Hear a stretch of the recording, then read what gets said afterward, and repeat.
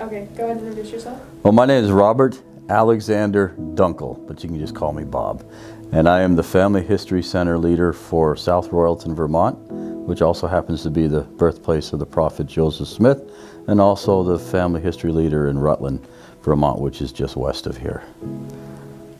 I'm from Connecticut originally, moved to Vermont 17 years ago, and uh, never did family history work up until about four years ago.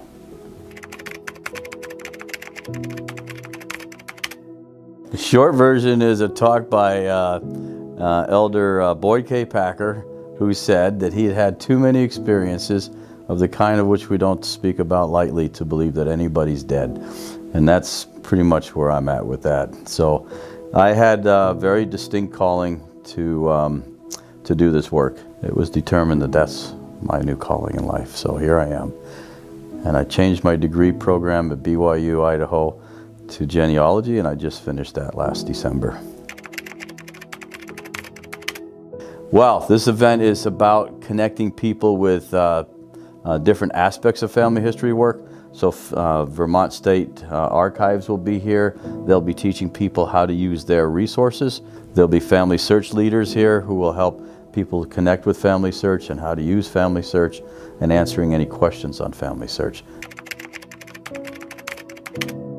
Well, Family Search is about connecting with your ancestors. Family Search is about uniting families together forever and uh, getting to know your family so that you can recognize them at least when you see them when you pass through the veil or, or however that's going to play out. It's about learning about your family history and getting grounded and being able to uh, identify with your ancestors, their stories.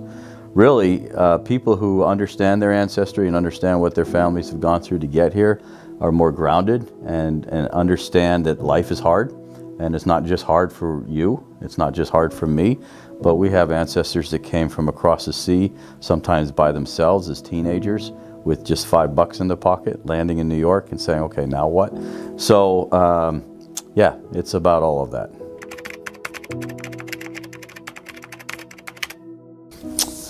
Whoa, that's a loaded question.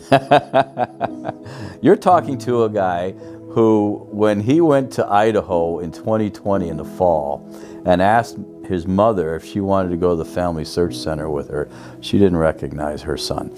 So, and uh, so I didn't ever, I didn't ever have any interest. I love history, but getting down dirty and doing the genealogy and really getting to know people wasn't my cup of tea. The blessings of being able to do that are really learning about my family and connecting with other members of the family in the process. I've learned important lessons about treating ancestors with respect.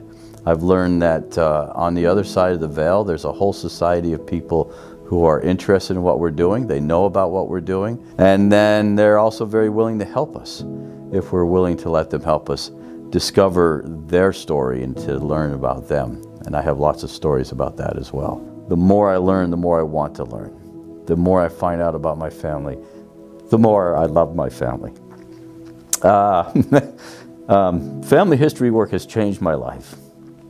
I know uh, through the work that I'm doing that these people not only know me and love me, they desire that we do their work for them. Because we're willing to do that, our lives get blessed in ways we can't even imagine. You know, things get smoothed out a little bit. Things, you know, the rough edges get taken out. And I think because of that, I'm a richer person. Not financially, but, but spiritually. I'm much richer. And I can feel the Lord's love and His appreciation for what I'm doing every day. And I say that in the name of Jesus Christ. Amen.